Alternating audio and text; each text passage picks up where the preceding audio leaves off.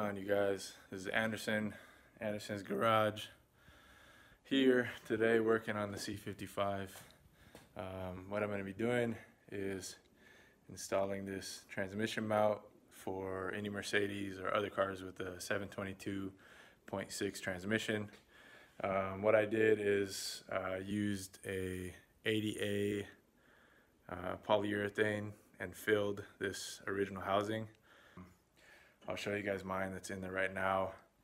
Um, it's only been on there for like 15K or so and um, it's definitely already starting to sag. So yeah, we're gonna swap this out today, but figured I would at least show you guys what's going on. All right, so here's the car. It's a 05 C55 AMG. Let me go ahead and show you what we got going on. Right here, transmission, I have a piece of piece of wood on the uh, pan to uh, just support the transmission once I swap that mount out. Here's the old mount. Can't really tell, but um, I can tell just from looking at it that that point is starting to sag. Um, and I just want to swap it out anyway, so yeah, there is those two bigger bolts, hard to see, but two bigger bolts on each side, 16 millimeter. And then there are two 13 millimeter right there. Um, and you want to support the transmission just a little bit. Take those two bolts out. Uh, once those are out, you can lift it up a little bit more. Then take these two other bolts out, the 16 millimeter. After that, slide your new one in. Make sure mine has a ground wire, so make sure that goes in the same spot. Um, and then once you get that back in, the 16 millimeters are torqued down to uh, 45 to 50 newton meters, and the 13 millimeter bolts are torqued down uh, to 25 newton meter. So you want to put those ones in and then lower the transmission back down. Make sure your holes align for this bottom section and then put those in and then torque them down once everything is uh, dropped down. All right, back again. Got the old one out. Let's go ahead and take a look. So the original styles are basically, they only fill like that center portion. Uh, you can see that bar going across. And that's really the only thing that holds them up after time. Where it's torn up at the top is just a thin like rubber layer. It's not really there for support at all. Um, so this one definitely already started sagging. It's really not even that old. Um, so yeah, what I did is I used uh, this product right here, 80A liquid urethane, and I forget the site that uh, you get this from, but uh, if you search this, you'll be able to see it. It's just a DIY polyurethane kit, and I will show you the new one in the car now. Uh, see if I can get a good shot of it.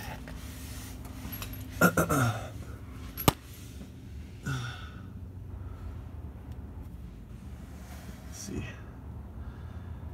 Yeah, so you can see that one's in there. It's all solid on the sides. Uh, I did have to adjust my uh, chassis bracket just a little bit. Um, so I had to undo these and slide it forward a bit um, just to align these bolts down here at the bottom. And these are also uh, 50 newton meters if you do have to adjust. And they're the same size as these bolts up here, 16, 16 uh, millimeter. All right, so that's it. I will, uh,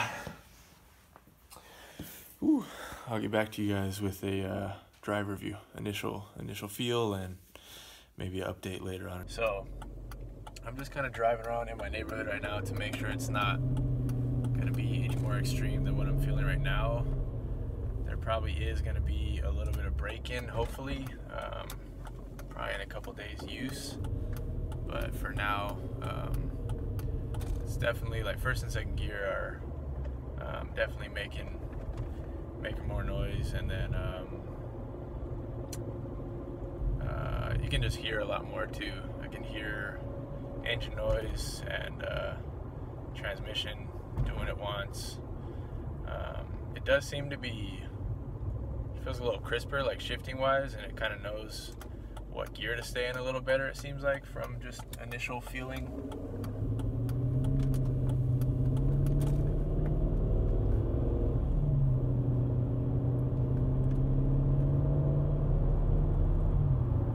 yeah, right around uh, 2,000 RPM is when it kind of vibrates the most. Um, right now I'm at like 1500. Um, just cruising and can't really notice any difference with it right now. Um, so I usually do all my work out of my parents' garage because we don't really have space where we live, my wife and I. So, and it's about 40, 35, 40 miles away. Um, so I'm kind of driving it around over here to make sure I'm cool with it before I take back, uh, take off back home. Um, I think it's okay, but I'm just gonna drive around a few more times and double check it. So I will update you guys uh, in a bit. All right, so final conclusions. Uh, made it home, so that's always good. Um, yeah, I took it on the freeway, uh, got it home, and really the only vibration that's still happening is um, as it's climbing gears, it'll around 2,000 RPM seems to be uh, the most vibrational point.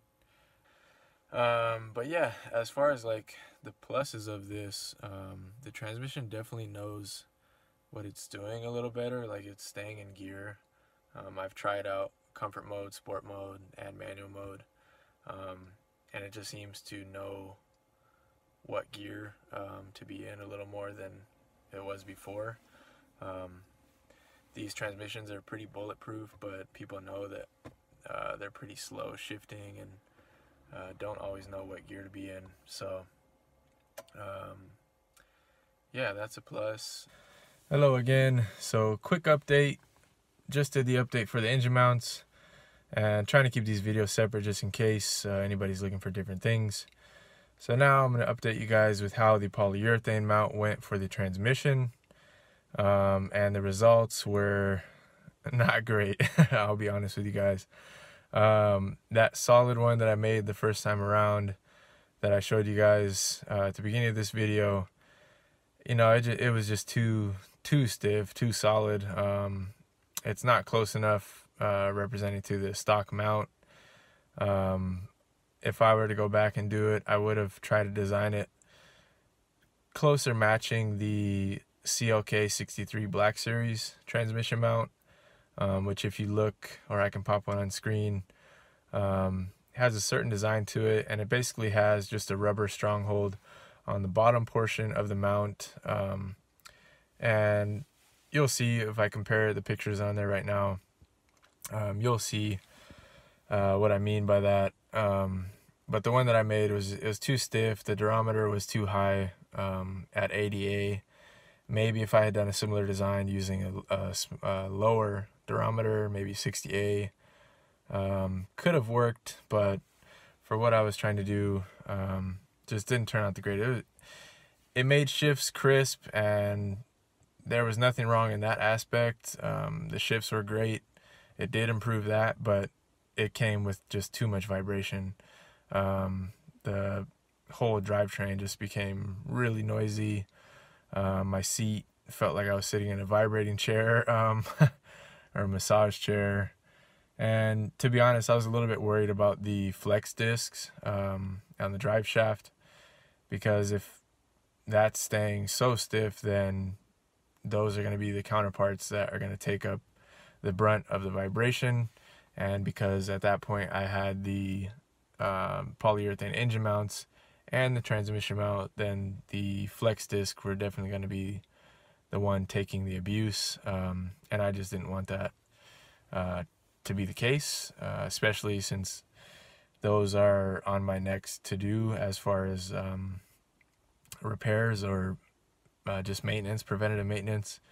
So what I ended up doing um, is first I took out the transmission mount um, that I had filled with the polyurethane, and I then uh, started to drill holes uh, just to give it a bit more flex. I used a Dremel to kind of Dremel down the um, both side walls of the polyurethane um, to give it more flex and I got it to be able to be flexed by hand when it, when it was all the way solid I couldn't even move it with my thumb at all So I got it to a point where it was easy enough to flex, but still had a lot of um, solidity to it.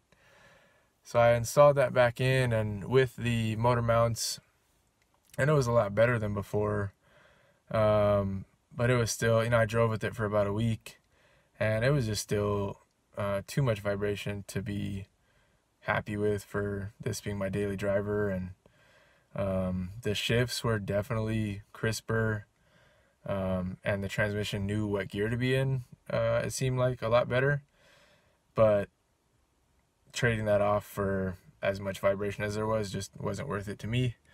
Um, so I, what I did is I took that mount that I had filled, I basically plunged out the whole top portion of it, and just left the bottom um, bar, like a, a bottom piece of polyurethane running along the bottom and I filled it with silicone around that and ended up uh, wrapping the edges around so that piece wouldn't come out. Um, so, and that's worked really well. I've had that for the last four or five days, and that's been the best result. Um, it gives me confidence that I'll still have the durability for the transmission mount, um, but I don't have to deal with as much vibration as I was. So, um, that's a cool part of that.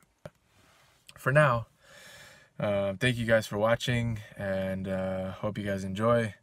You guys will be seeing more from the Anderzén Garage.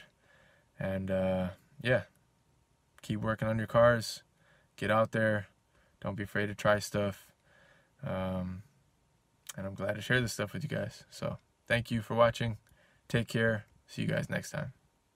And if you're looking for more uh, Mercedes or W203 or AMG uh, content, um, I'll definitely be putting more stuff up because there's not much out there for the C55, especially.